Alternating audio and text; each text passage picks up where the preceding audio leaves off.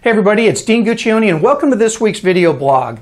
And in this video, I'm going to be doing an overview of the hiring process as a whole and discuss all the components and, that you're going to have to go through and be evaluated on while you're, you're applying to be a firefighter for any given department.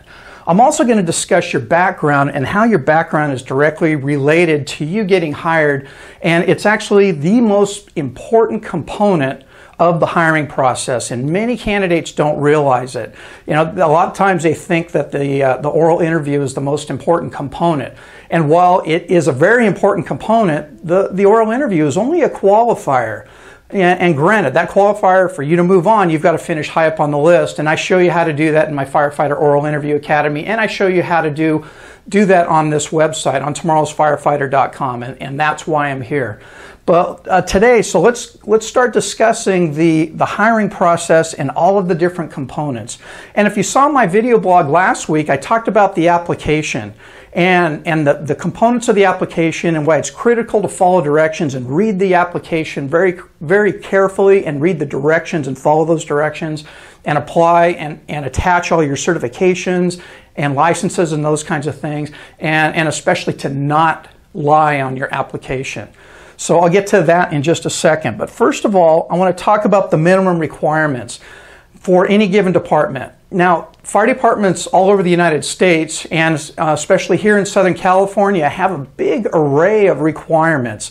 Some of the smaller municipal departments, they, uh, they have a lot more requirements than maybe some of the bigger departments like LA City and LA County and, and Long Beach uh, for example. So you've got to read the minimum requirements on the job flyer very carefully because if, if you're looking, if you're going to apply for a department and you don't meet the minimum qualifications, then really don't waste your time uh, because you can spend that time one, taking classes that are going to help you qualify for another department, or at least spend time studying and preparing and getting to know yourself and getting to know who you are and working on all those teamwork questions and customer service questions and conflict resolution and uh, situational questions like I've gone over in the past, okay? Uh, so again, read that, that job flyer and really understand and know what those minimum qualifications are. Because larger departments, they may only require you to be 18 or 21 years old and have a driver's license and be a high school graduate, and that is it. While other departments may require academy grad, they may require you to be a paramedic and be paramedic licensed. So if you apply for a department that requires paramedic, you're wasting your time because you're just going to reject it. And unfortunately, you're going to get a, a uh, uh, a letter from HR the next week saying thanks, but you don't make you don't qualify for our department. So um, then other departments they may go, hey, they might, they might have some educational requirements. Also, they may require a certain amount of units. Uh, in fire technology, they may require a firefighter one, or they may they most every department requires EMT. So those are some of the things that you'll want to be working on uh, to help prepare yourself to be qualified to start applying and getting interviews and taking written exams for fire departments. So taking your EMT is probably the number one thing that you should focus on if you're just starting out. Don't start taking your core classes yet. Get that EMT because even the, the departments like LA City, LA County, and I'm sure Phoenix, Arizona, uh, maybe Las Vegas and Denver and Houston, Dallas, Miami, New York Fire Department, uh, all the Midwest departments the South and even in the North, they probably require you to have EMT even just to apply. Because many departments, eh, they're finding it's not cost effective to teach their folks EMT anymore. In fact, a lot of the cities are really cutting back on the amount of things that they're doing for their new entry level hirees, including putting them through an academy. Many departments require an academy now. However, the big departments still have their own fire academy and they put you through that. But a lot of times EMT is not part of that. So that would be the first thing I, I, would get. Then once you get EMT, then start working on your core classes that will qualify you to get into a fire academy. So kind of enough on that little sidebar. So, so again, you know, really carefully look at the minimum requirements for that department. Then the next step is once you qualify, then you fill out the application. And again, filling that application out is really critical in the areas that you need to really uh, hone in on are following directions. That's the biggest thing, and that's reading that application maybe two or three times. and following directions and make sure that you you qualify for everything that is in that job flyer and that are required for that application. Then the next thing on the application, you want to attach all of your licenses and certificates that are required for that department. They may require firefighter 1 or an academy grad, driver's license, EMT, BIDLS, CPAT, those kinds of things. You want to attach all the certificates and all of those licenses.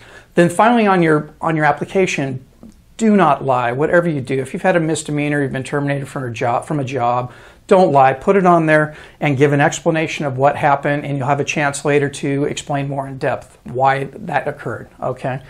Um, the next thing, once you apply, if you meet all the the um, the minimum qualifications, then you're going to be invited to the written exam, and that could take um, that could take place in any number of ways. A number of departments now are hiring outside companies to administer their written exam, which they would have a satellite station. You would go there and you would sit on a computer and you would take that written exam. While other departments still do their own paper style written exam and it's you know probably 150 questions and they give you several hours to complete that exam.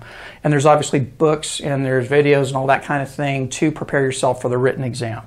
Then once you pass the written you will go you'll go to the oral interview and you'll be invited to the oral and that's my focus. Here is our oral interview and the background so i can help you finish at the top of that list so you can move on to the chief's interview and then move on to your background then ultimately get hired.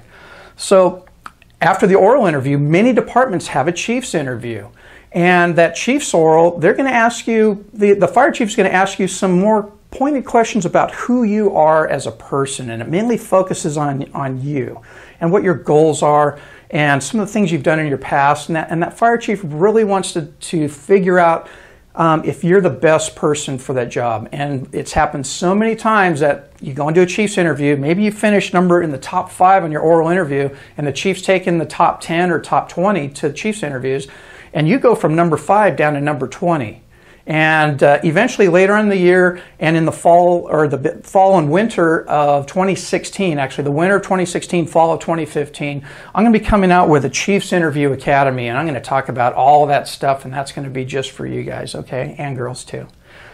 Right, so after your Chiefs interview, if you're successful there and you move on, then you're going to start your background.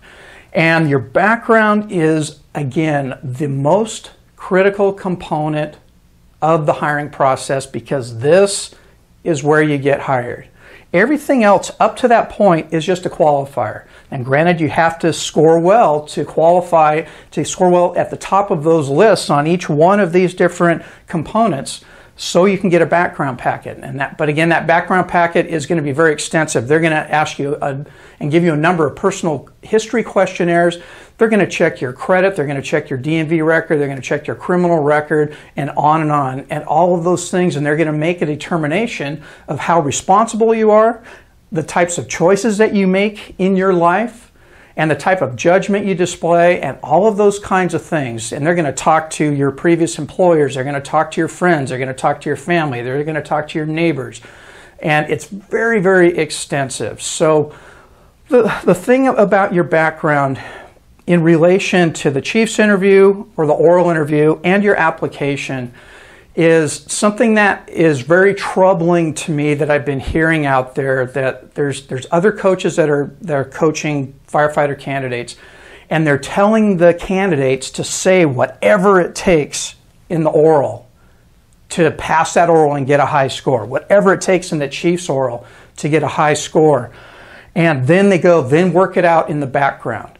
So the point being here is you cannot lie during any part of the hiring process because if you lie, you're going to be out. You're going to be disqualified, and you're not going to be told why. You're going to get a letter from HR who said, "Thank you for for applying for this department, and you're now you're no longer in the process. Thank you very much." And it's going to that's it. You're not going to get an explanation because the city or county doesn't owe you any type of explanation. There's no laws that require them to explain, so you're just going to be out and you're going to be wondering, what the heck did I do? Well, if you did that, if you lied, that the fire service can, can actually tolerate a, a lot of mistakes that you've done, may have done in your background, with the exception of probably a felony. If you have a felony in your past, there, there's a good chance you may not get hired, but there, there, you could get fortunate.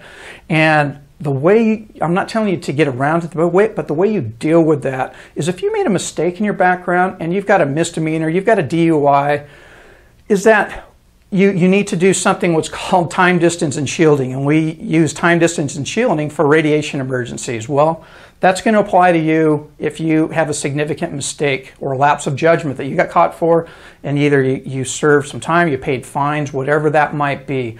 But the point of that is, is you take something away from that that you learn something from that experience. You're going, you know what? I want to be a firefighter. I cannot continue making poor choices in my life and doing dumb things and getting caught and getting misdemeanors or getting DUIs or assaulting people or getting in fights or anything like that. You will not be a firefighter if you live your life like that and make poor choices in your life. And and you know what? I don't mean to lecture you, but I, I, interview hundreds and hundreds of firefighter candidates, and the background the background process is getting more and more difficult and more and more tight because we've got thousands of people applying for a handful of jobs. So we can pick the best people. And if you continue making poor choices in your life, you're not considered one of those best people. All right now, again, now I want to go back and say if you did make a mistake and you learned something from that, and you've got some time, you've got three, five, ten years from uh, from the time you had a DUI, three three years may not be enough for some departments. It might be acceptable for other departments. But if you made a mistake like a DUI, then you know own up to it and and pay whatever restitution and go through that whole process and go look I made a huge mistake. I made a horrible choice in my life to, to drive under the influence because one, I could have injured somebody, or worse, I could have killed somebody. And that just is not, obviously, if, if you, you couldn't live with yourself if you killed somebody. All right, so it's really, really important to, to take something away from that mistake and learn from that and talk to the investigator. And you're going to get asked about it in your oral interview if you made a mistake.